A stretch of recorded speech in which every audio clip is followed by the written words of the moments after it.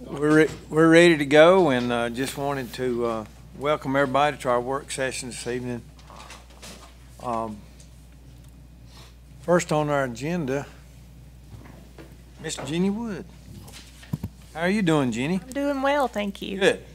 So I just wanted to propose a calendar change to you guys tonight. Um, right now, we have a remote learning optional workday scheduled on October fifteenth, which is a Friday. And it is also the Tuscola Pisgah football game. So in our proposal, we would like to make that Friday a regular school day and m- move the remote learning optional workday to Tuesday, October 19th. So kids and staff will all be on campus on the Friday of the game. Got to get the pep rallies in, When we made this calendar, we didn't know What this, what the schedule was. schedule. Our Right. schools have been classified and schedules weren't made. And we've made calendar changes, I think, for uh, worse reasons. Like And- uh, internet, internet breaks and that kind of stuff. One more thing, you may get this question, but in the original calendar, the fall break was split into two weeks, so there was a Friday on one week and a Monday on the second week.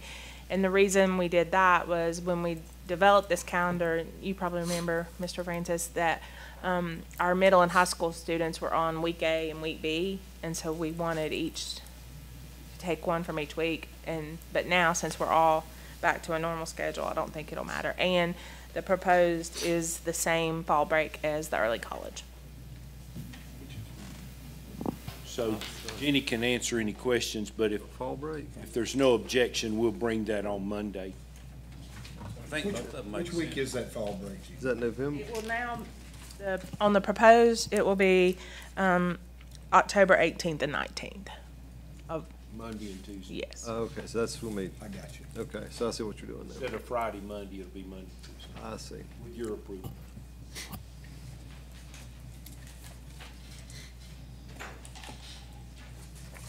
Any questions? All right. Just bring it for board action on Monday, it'll be fine. Thank you, Jenny. Uh, Mr. Chairman, members of the board, the next thing we have is our first, uh, what we had talked about doing quarterly report on uh, ESSER or COVID-19 relief federal funding expenditures. Uh, You have that there in front of you, and I have a copy somewhere. And I have the trustee, the trustee federal programs person behind me who can let me borrow her copy, even though she's given me about three. Uh, So, these are our federal funds. Uh, They may only be used on expenditures caused directly by COVID-19. You can, in some instances, go back and pay for something that you paid for with local funds earlier. There's not a ton of that going on, but some of that uh, is going on. Uh, You can certainly do it in the present. Uh, For example, we paid for summer school with these funds while summer school was going on.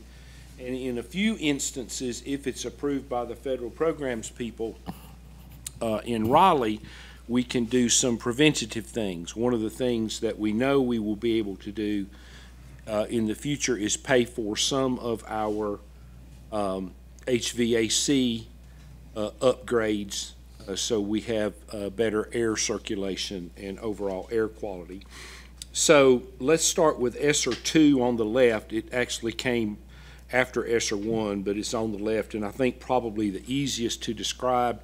Lisa knows a lot more about this, so she may have to help me. She's got, she got my back, literally, here in the meeting.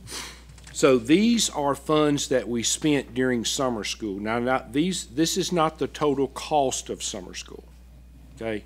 But these are funds that we spent during June and July. Summer school ended today, so we had some expenses through today. And then you'll remember that the state legislature required us to pay a, um, national board bonus for people who are nationally board certified if they agreed to work the uh, length of contract that we will do, and we will pay that uh, probably at the end of this month after we see that everybody worked the days that they uh, committed to work. Uh, And there may be a few expenditures that we're unaware of. So I guess, not completely technical, but uh, to date, uh, on summer school, we spent six hundred thirty-five thousand, four hundred ninety-five dollars and sixteen cents. That will be higher, and we knew it would cost a lot, and we talked about that when we were doing the planning. So, uh, you can see supplies and materials there, uh, twenty-six hundred, almost twenty-seven hundred bucks. Uh, the teacher, um, there weren't really salary, salary, salaries, but the hourly pay, three hundred and seventy-two thousand, plus, um, cafeteria workers, uh, nearly twenty-one thousand, uh, teacher assistants, a little, just a little over twenty thousand, bus drivers, thirty-one thousand, a little over thirty-one thousand, uh, directors, uh, almost, uh, eighty-nine thousand, clerical, this was some bonus money. You remember, we talked about the bonus for the twelve-month clerical, uh, s- um, uh, twenty-seven hundred, a little over twenty-seven hundred. Indirect cost, uh, some of you who, uh, in your business may be familiar with indirect cost. That is a cost that you can charge to a grant or expenses that are there but are unseen in the grant. Things like having the lights on and making sure the telephones are working and the HVAC runs and all those kinds of things. So that's an indirect cost that we charged uh, to the grant, which will save us having to pay for those kinds of costs out of local funds. Um, Over forty thousand, almost forty-one thousand in benefits. Uh, The software um, that we used mainly to communicate with parents, um, uh, remind and other things. And so six hundred thirty-five thousand. So are there questions about uh, ESSER two, ESSER two? Lisa will bring um, on Monday, um, you have to, to resubmit your plans each year. And so she'll bring the new plan and that will be on the board agenda for Monday. Any questions with ESSER two? Okay. ESSER one, now you all probably will remember me telling you um, that we liked ESSER two better than ESSER one um, because uh, ESSER one had, had this one sixty-three line and then it had a bunch of other lines that were very specific to like EC and things like that. But out of ESSER one, we've spent um, uh, nearly a half million dollars, four hundred and eighty-eight thousand. Uh, uh, We spend hundred and seventy-five thousand on technology. That was to replace Chromebooks that were damaged or lost and to have more Chromebooks when we started distributing them two Marches ago. Uh, uh, We were able to recoup some of the money that we paid to start the Employee Assistance Program and that has gone well, and Mr. Hines will provide a report on Monday night about that. We had some um, tutoring that we did um, to uh, help students with learning loss. Um, During the year, mainly middle school and high school students, we were able to recoup a couple thousand dollars there. Uh, Again, there's some indirect cost in the next line. Uh, over fifteen thousand dollars in all the cleaning supplies that we purchased and bought. Uh, and then, um, over ten thousand in maintenance supplies and repairs, and that is everything from, um, bottle refill stations, so students aren't drinking directly out of the water faucets, to plexiglass barriers. Um, so a lot of things that maintenance, maintenance actually put together for us or purchased and installed. The next line is the athletic solvency, and I want to give a little bit of a warning. We have submitted that, and we have had people tell us that they think that that will fly, but it has yet to be approved, okay? Um, So you all had made a commitment to make sure our athletic teams did not go under, and we may get really lucky and be able to cover that with ESSER one funds. That is not a done deal, okay? Um, but that's there. And then, um, we, there's a private school equity amount where we are required to share these funds with private schools, we're glad to do that for them. Um, of seventeen thousand, uh, almost seventeen-five. We have done that distribution. Transportation is the actual not paying the drivers, but running the buses, the gas, the oil, the fuel, the, all those kinds of things that we did. And then we had a remote learning stipend. You will remember, this is something that we agreed to pay out of um, school remediation funds because we did have a few teachers who were not only teaching students in front of them and went on their off week, but they were also on their planning times picking up a remote section of whatever, chemistry or whatever the remote section was. And we think that one is going to fly. Okay. How am I doing? You're doing great. Okay, so, so now I'm going to let you ask the hard questions to Lisa.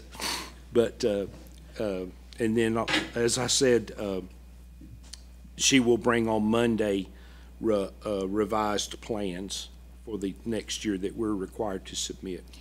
Brooke is actually going to attach those this evening, so you'll have them to review. Yeah. Well, they usually don't, that usually doesn't go out till about Thursday anyway. Yeah. So any questions, board, about what has been spent thus far?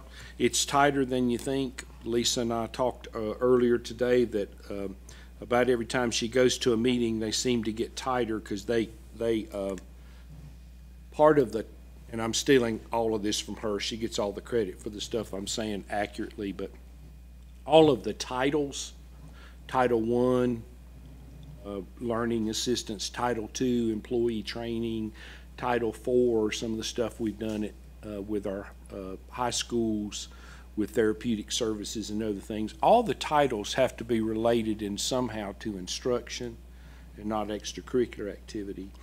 We think that's part of the pause on our athletic solvency. They're, they're thinking about all the other titles, and this is not one of those titles. This really is, um, did you have to spend money, or was there a- an expenditure caused by COVID? And so, I'll, I'll pause, I talk too much as it is, and let you all ask questions. We'll try to answer them. I know that this year's summer school was expanded and everything else, but normally what would we spend on that? You remember the? Just you remember the, ballpark. we get a budget from the state for that. Yeah, I'll, I'll give you a ballpark of what we had planned before we got ESSER money.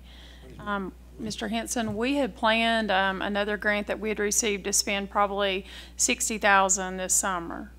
And that was just gonna be very, very limited in scope though. Now, on top of that, you gotta understand, we get, we got money for RTA, which is a whole separate, um, pot of money, Read to Achieve, which is for our kindergarten through second grade. That's a whole different, so when you add those two together, um, I, I just wanna say, what, a couple hundred thousand? Yeah, maybe close to three, between two and three hundred thousand. That was no high school at all.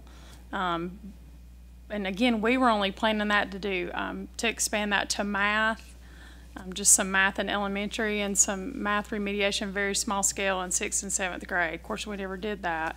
And that, we've not in the past offered summer school, um, to that extent for secondary at all, just a required read to achieve from the state for our earliest, our youngest elementary students. And this number will be higher because we still have learning that occurred this week and we still have the national board. And how many students did we end up? We registered over nine hundred. We did, um, a first day count and a fifth day count, which was seven hundred and then five hundred. And we had hundreds most days until the very end. And then it, it, it started slipping. What kind of feedback have we had from the teachers on whether they felt like it was successful and, and how they feel like that went this, Yeah, I was, I was talking to Ann Trader today. She's been one of our directors at Hazelwood. And they did, um, they were required to do for our elementary, middle school an I-ready assessment, a beginning and a post-assessment. So what, we're waiting to get those results to see what the data says. I think what she said today, um, I think is probably pretty consistent throughout what most people would say is the students that came consistently, they saw a big gain from that. And people couldn't. I mean, people had vacations and job responsibilities and things like that, but a lot of our kids came consistently. We recovered, um, and I just don't want to throw out a number here. I'll look and see. I had this earlier, but the amount of credits we recovered at our high school was really impressive. So we did recover and I, again, I don't want to throw out an arbitrary number here, but at one time, this was probably three or four weeks ago, we had probably recovered over 250 credits at that point. Okay, so it's that number will be even higher now for our high school students. So hopefully that will get them back on track for graduation for several of them. Good. It was just, you know, very, very expansive. It encompassed everybody that wanted to come. And I think, I think when you walk through those buildings, every time I walked through and I saw kids there, I thought, this is a good thing. They were really doing instruction with those kids. They had a lot of fun things with them. And one of the, the best things I heard about it is at 12:30 when they were leaving, they would be on the car lot saying, "I'm going to go to Grandma's house and play. I'm going to go to the pool." They still had the time to play and do things in the afternoon. We had a lot of counties tell us they thought that was a good idea. It wasn't all day long, just for 30 days. We are planning on doing that next summer as well. This one, you know, was required. We didn't get to do exactly how we wanted. You know, we had to follow the letter of that law. So I'm excited about next year if we can make it our own, because I think we've really seen the potential of what we could do. And again, we were planning on doing something smaller in scale, but there will be money um, as, as long as Dr. Nolte, you know, uh, uh, that money will be there for summer school next year. Yeah, I, I don't think it's up to me. Part of the ESSER funds are specifically um, designated for learning loss. There's a percentage, what's, Twenty percent in ESSER three. 20 And there's also going to be an additional amount of funds that will, will be, we will be able to apply for, that will be for summer again. So we, we, our summer, our summer uh, endeavors will be well supported in the next few years. Okay, Good.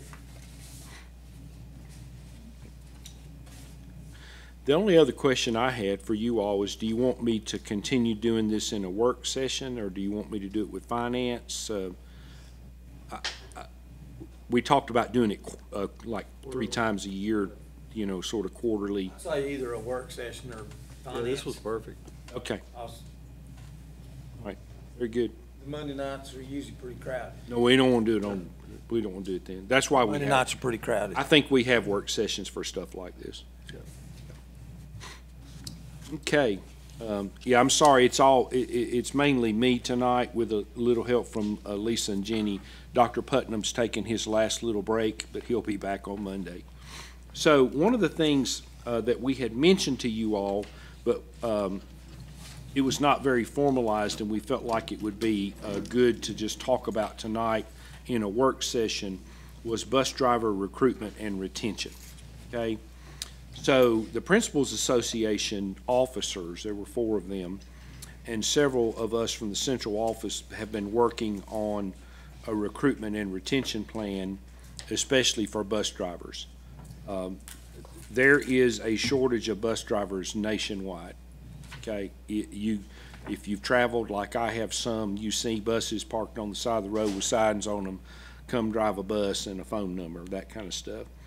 Um, we really, you all know that we really like to uh, sink our teeth into stuff and go after stuff. And so we don't know if we can solve this problem when it's a nationwide problem, but we would really like to be, you know, the first or one of the first school systems that figures out a way to at least mitigate the problem pretty significantly.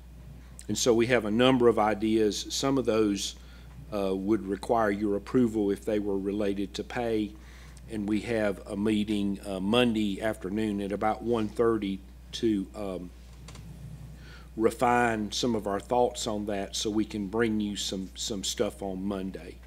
Uh, and of course, if it relates to pay, it would be, um, part of personnel. Um, But anyway, um, we've done a lot of things. I think history's important. So we've done a lot of things in the last three years, not only for bus drivers, but other people, because we know our people really are um, the valuable resource. We, we could not have done what we've done, especially during COVID without them. But early on, even back when I was an interim, I worked with you all and we put everyone back on pay steps, and that was a good thing. So they get an annual pay raise. Uh, we've worked really hard, again, with your approval, to increase the number of dual employees who also drive a bus. That is good for them. They have essentially a full-time job or very close to it. They get health benefits from the, from state money rather than local money. And, um, it, it, it's very good for a lot of them. And, uh, you have, you know, one person doing a couple jobs, and that's worked pretty well. We, uh, then doubled the local supplement from two percent, four percent, not only for bus drivers, but other people. We should have done that. And then we, uh, took some money and actually increased the hourly rate for bus drivers a little bit a couple years ago. Uh, one of the things that you all have done that we're not, we don't think anyone else in the state has done, and I credit, uh, Pat and Dean Shatley and Jason Hines for doing all this background research, and you provide health insurance for folks who drive at least twenty hours. We can't provide it if they drive less than that, but if they drive over twenty, we can pay for it. If it's over thirty, the state is part of the state package. Uh, And then we were very cognizant of our employees and student learning during COVID. You all know that. We did as much as we could for both groups. And so that very first summer, you all know that we distribute over three quarters of a million meals. And that allowed a lot of our drivers who might not otherwise have employment to work that first summer. And we are thankful that they did that. Uh, very, very thankful that they did that. And um, we gave them a little bit of an increased rate that first summer. Uh, It was, it was a, a little bit more, and we appreciate that.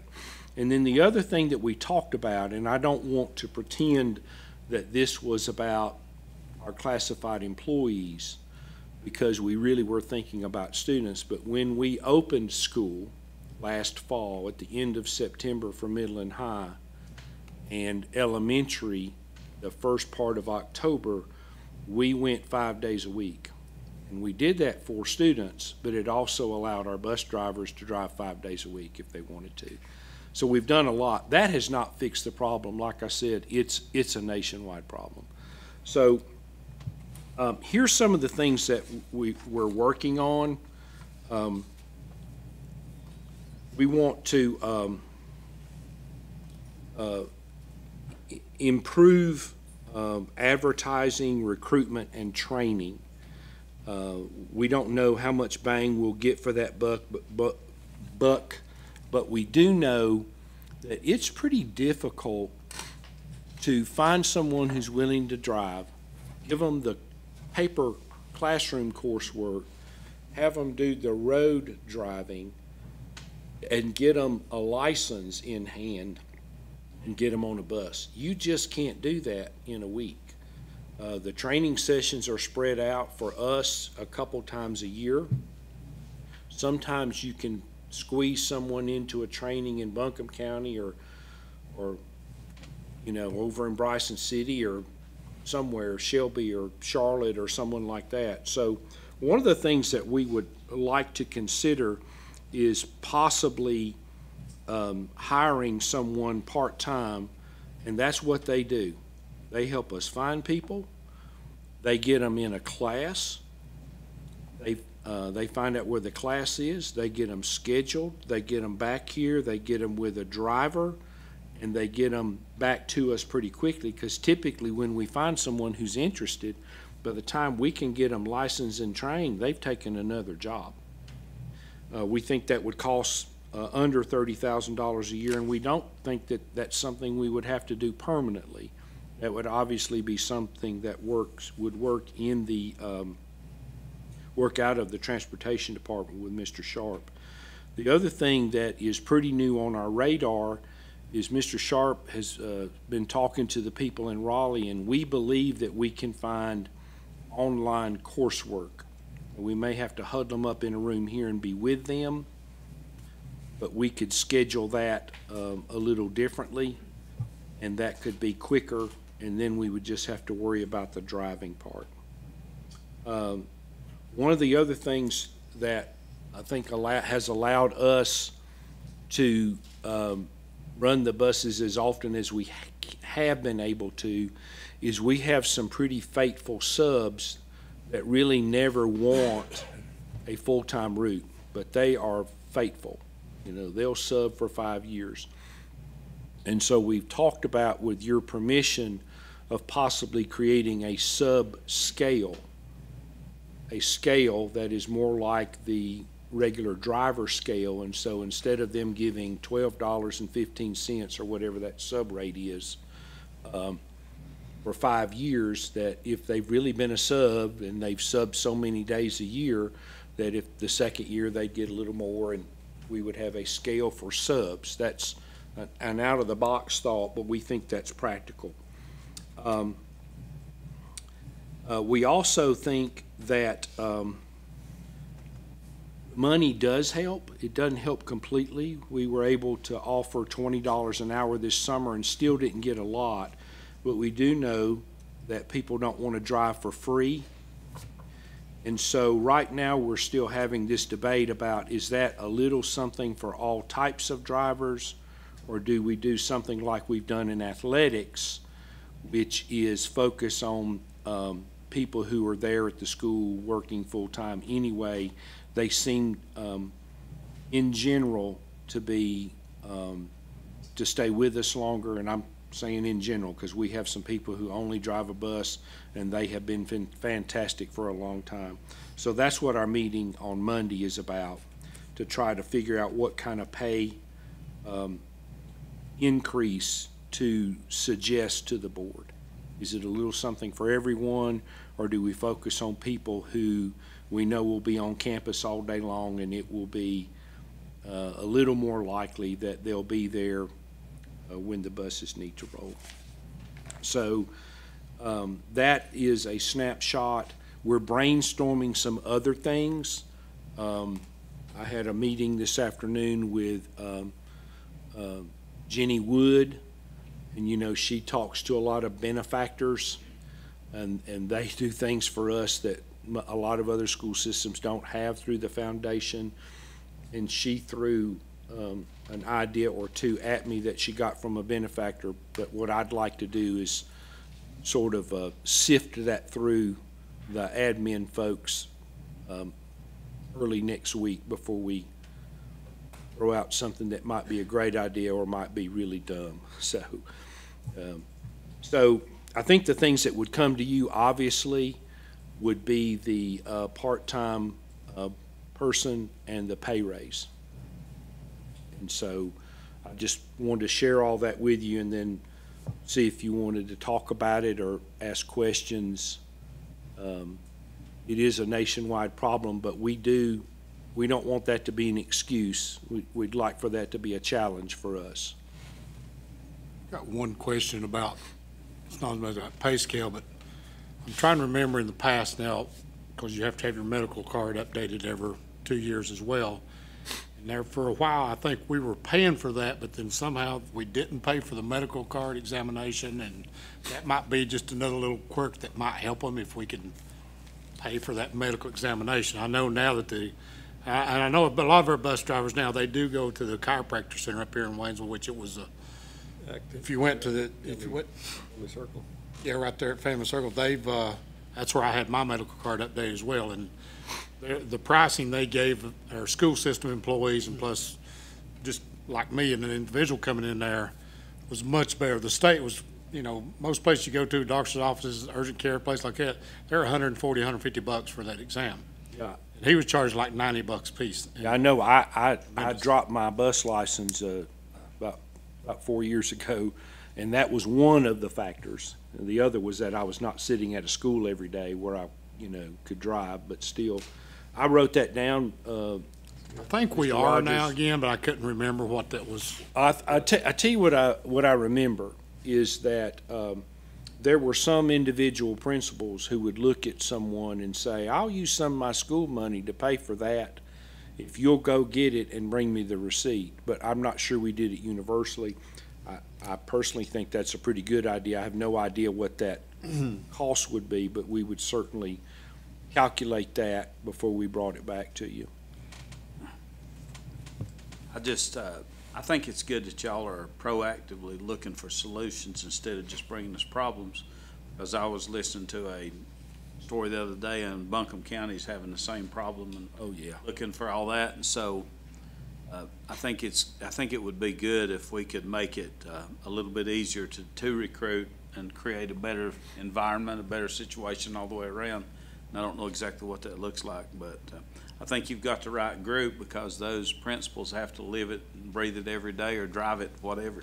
So I'm glad it's happening anyway. Yeah, we, we've invited the president of the Principals Association to meet with us on Monday.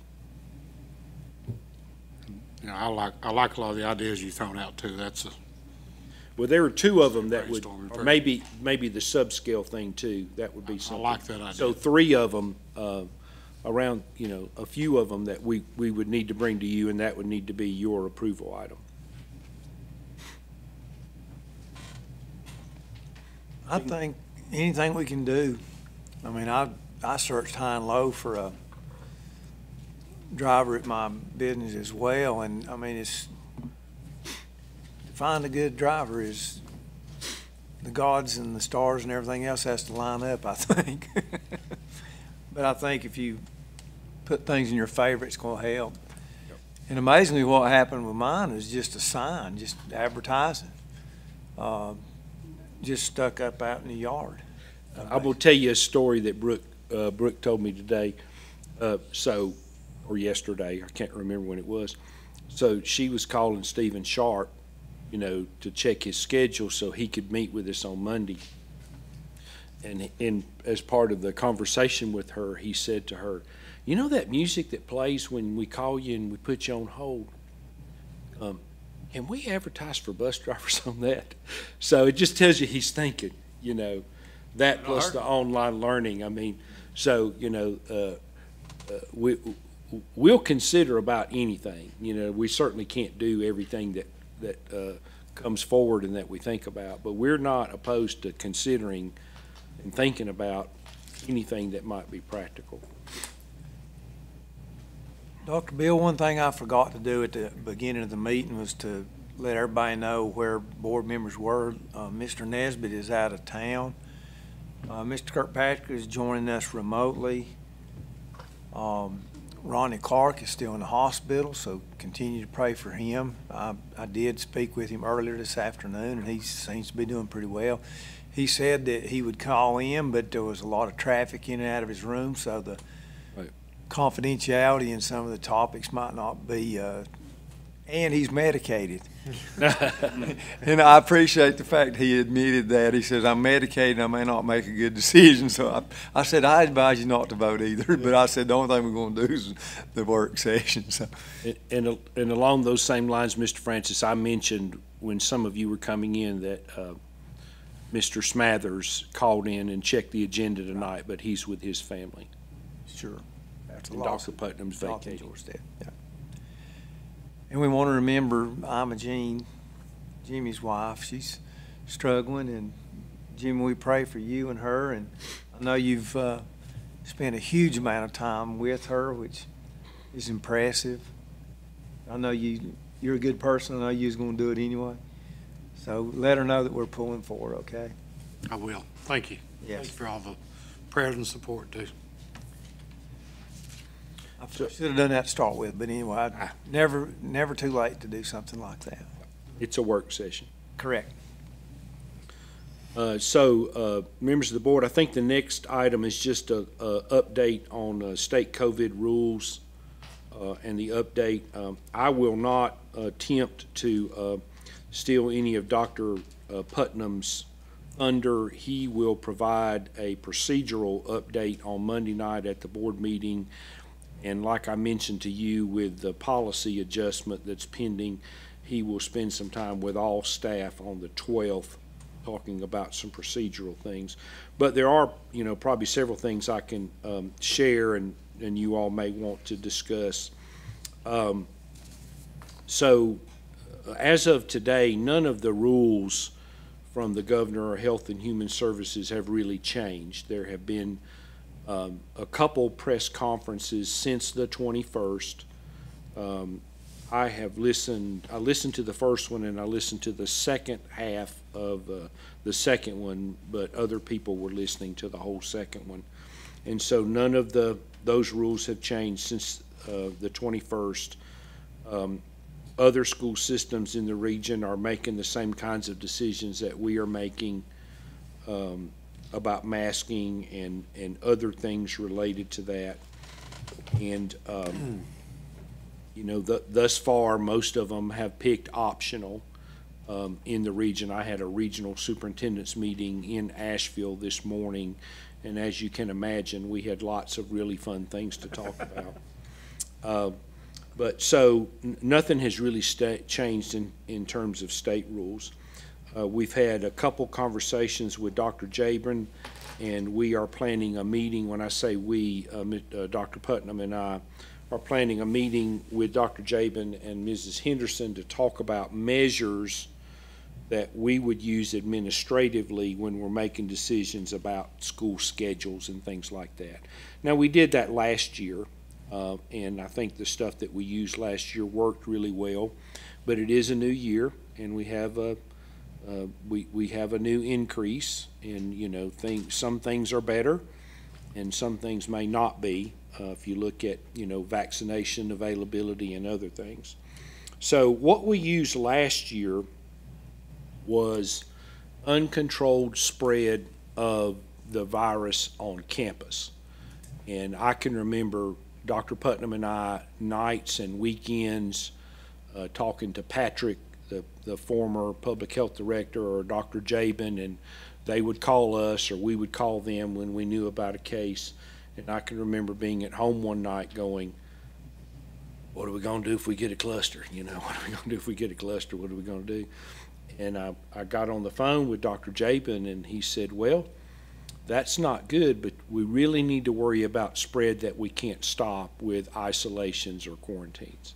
And so we adopted at that time, it was early in the fall, it was around October when we were first coming back in person.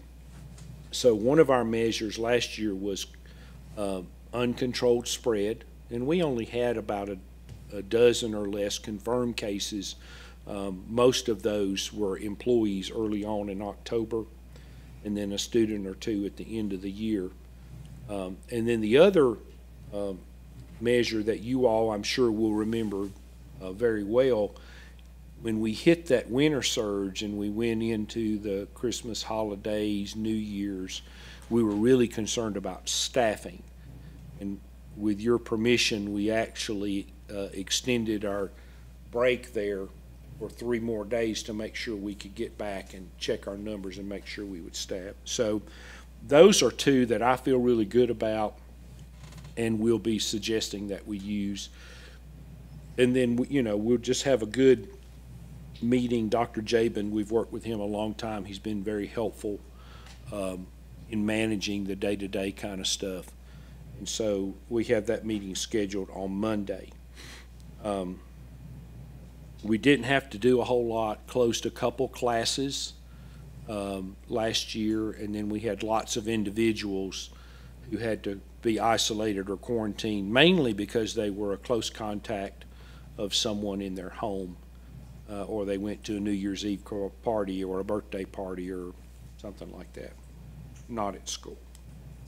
Um, we also met with principals. Uh, late in July. At this point, Brooke, I can't remember the dates, the 26th and 27th, or 27th and 28th. Uh, Dr. Putnam covered a lot of procedures with them.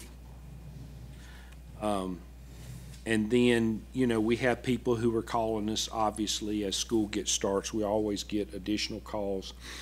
And uh, uh, we're talking to those folks and trying to give them updates. Uh, the only thing I think that's really unknown, and we're checking on this, Pat's checking on it and everything else, is, um, masking related to buses. We have double and triple checked pre-K and childcare. And, um, everyone tells us that's, uh, our decision as per the toolkit changes. And we haven't gotten a consensus on the bus thing, but if it is different than what we have decided here, we'll get with you quickly, um, on that, so. So, any, I mean, that's a pretty broad, general update. Uh, Dr. Putnam will be a little more technical with some of his things that he does on Monday. Dr. Bill, I've talked to you about this. Dr. Jaben did reach out to me and ask me if the board wanted to meet, and I said, you know, that's our administration's position. I mean, that's their job. And, and does anybody from the board feel different than that? I, I felt like that last year, um, the administration was on top of things. They, they're the ones that's got the year of experience, year and a half of experience with this, and, and uh, quite honestly, I'm, I don't feel qualified to even, I mean, we can talk about it, but I think that the day-to-day operations is our administration as it relates to all school matters, not just the mask, the COVID-19 spread, the possible threat or whatever, so. You might have any different opinion on that? No, I'm in agreement with you, Mr. Chairman. I agree with you that uh, we, do- they, they're doing a good job. Need to continue to let them do their job and just give them the support that they need and ask for. Okay. We're glad to do it. That's what you pay us to do, whether it's, uh, you know, uh, fire alarms or, or snow or COVID or heaven forbid, another ransomware attack, you know, whatever it is, internet service, that's, that's what we do. And we're glad, we're glad to jump on it with our, uh, with our partners, whoever they are. You know, with COVID, it's certainly public health, but, you know, sometimes it's law enforcement or other folks. But we're glad to do that. And certainly when it uh, calls for your action, we let you know in a hurry, and you all have been really good to meet, almost over-meet during COVID. And so we're, we're glad to manage it. I, I appreciate the quick response, uh, and the information flow that we get through our text, our group text. It goes fast. I was coming by Tuscola the other day. I said, I wonder what happened here, and I looked down, there's a text. Dr. Bill says a student got hit after somebody ran a red light. I said, well, there's the answers. Carry on. And I appreciate that. I mean, it's timely, because people call you up sometimes and ask, what's going on? You know, and I appreciate it. Glad to do it. Um, Board, uh, the only other thing that I have in open session, I do want some time in closed session to review some personnel matters. Um, uh, I don't think it'll require any of your action, but we have so much going on that Brooke and I thought it might be really good if you all look at the agenda, make sure we haven't missed anything, and we may have even suggested an addition. Did you put that last thing on this after, uh, Lisa presenting the budget stuff? I know it's unusual for us to ask you to look at that, but I, I think it's good. it's just busy. Yeah, I like to see it. Yeah, and we may be able to do that in future work sessions, but we just, um, we're glad to do what we do, but man, it's, uh, it's, it's fun right now. There's a lot going on. We did have a formal request for, uh, from the Farm Bureau to come. Don Smart wanted to speak, and I felt like that, you know, I just advised them to come during the open comments section, public comments, since it really doesn't need to be an agenda item.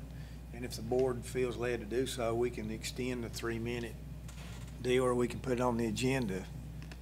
What are y'all's thoughts? Just leave it like it is, or?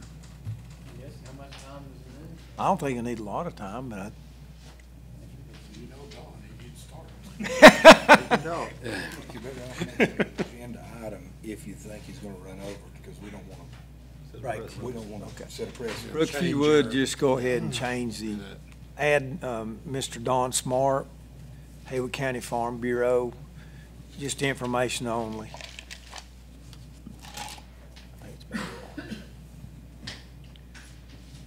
That's all we have, uh, Board, um, unless you all have other um, things you want to talk about in the work session before I do the personnel updates. Think- Anything else?